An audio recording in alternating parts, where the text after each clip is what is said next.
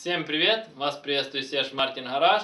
А мы продолжаем, и мы продолжаем э, наш ряд серий э, видео о э, моделях ВАЗ от начала до конца. Про каждую модель расскажу, ее плюсы, ее минусы.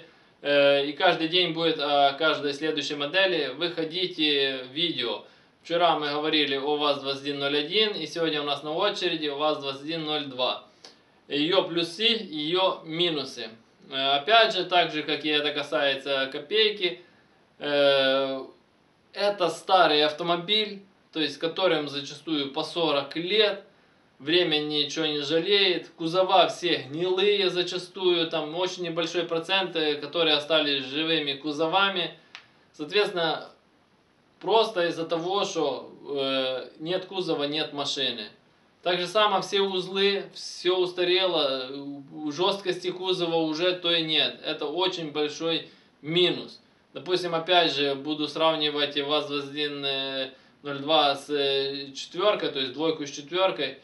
Э, четверки выпускались позже, соответственно, кузова более свежие. Поэтому, если вы любитель именно универсалов вазовских, э, то лучше, конечно, по, при возможности переходить на ВАЗ-2104. Э, какие минусы? Минусы, как и у всех э, ВАЗ Classic, это древняя конструкция двигателя, то есть э, э, древняя масляная система, постоянные проблемы, то есть ненадежные, опять же, сравнивая с переднеприводными ВАЗами, там более правильная, более простая, надежная масляная система, постоянно у вас классик, то паразитку обрежет, то еще что-то, и постоянно э, проблемы, а мас, нет давления масла, все, нет у вашего двигателя. Древняя конструкция цепи, это тоже ненадежная конструкция, в отличие от ремня. Э, в головке блока рокера, тоже не, постоянно сбиваются регулировки клапанов. Э, сам по себе рокер крадет фазу и подъему распредвала, соответственно теряется мощность. Зачастую у вас в классик стоят древние карбюраторы, всякие там пятерочные, семерочные озоны, веберы. Э, и ставят, когда соликсы не умеют с ними обращаться, снимают, ставят назад древние карбюраторы, которые жрут и толком никуда не едут, потому что неэффективно потребляют топливо. На канале о карбюраторах и их доработках и настройках есть очень много видео. Там об этих всех моментах рассказано и показано. Кому интересно, на главной странице моего канала жмите на все видео и там найдете ответы на все свои вопросы. Дальше по ходовой. Большим минусом, что ходовая э, древняя, двухречажная, 4 шаровых, 6 рулевых наконечников. Короче, во-первых, э, это все выходит со строя. Запчасти сейчас не очень качественные, еще и сама по себе конструкция древняя. Большой минус, как и всех ВАЗ Classic – это то, что ходовая частично завязана на балке, частично завязана на кузове. И опять же, почему я очень большой акцент делаю на жесткость кузова, потому что со временем кузов разбалтывается. И ходовая так играет, даже если вы там все новое поставите, такое ощущение, едешь, как будто сейчас колеса подпадают.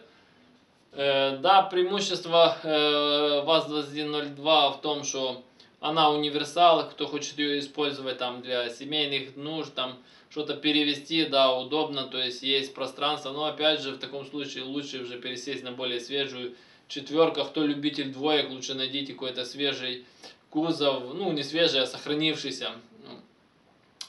Э, дальше, по двойкам какой минус, если там заводская, допустим, двоечный редуктор, у него есть плюсы, есть минусы, да, он лучше тянет, но э, из-за того, что он короткий, грубо говоря, у вас будет больше расход по трассе.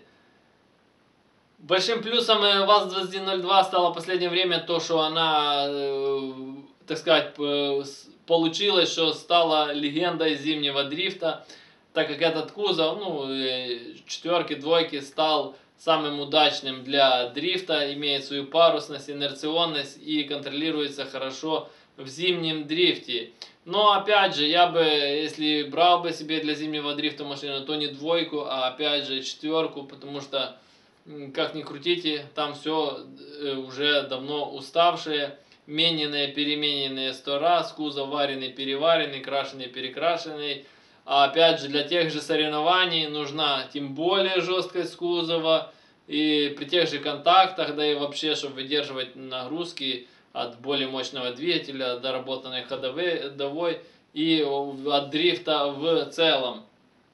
Э, поэтому я считаю так, что ВАЗ-2102, так само как и у Копейки, плюсов в этих машин, грубо говоря, практически нет.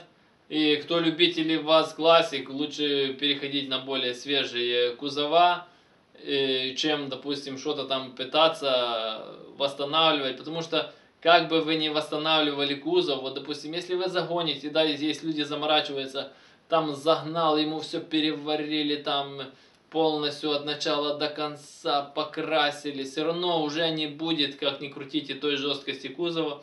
Э, во-первых. Во-вторых, э, все, что вы ремонтные покупаете, э, там уже качество металла не то.